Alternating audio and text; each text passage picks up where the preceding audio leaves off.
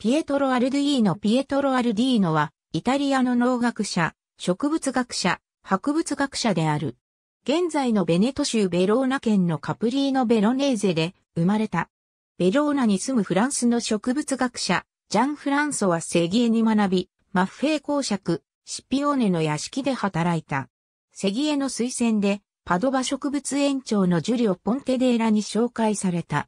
パドバ大学の農学研究所で働いた後、パドバ植物園の学芸員を務め、業績を上げた。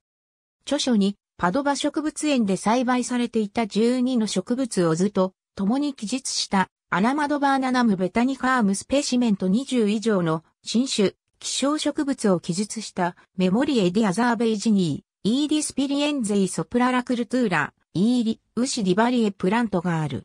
アルディーノの仕事はカール・フォン・リンネに高く評価され、リンネによって、ヒソカの種、トゥークリアム・アージュイノイなどにアルディーノの名前を付けられた。兄に有名な地理学者、ジョバンニ・アルディーノがいる。アードは植物の学名で命名者を示す場合に、ピエトロ・アルディーノを示すのに使われる。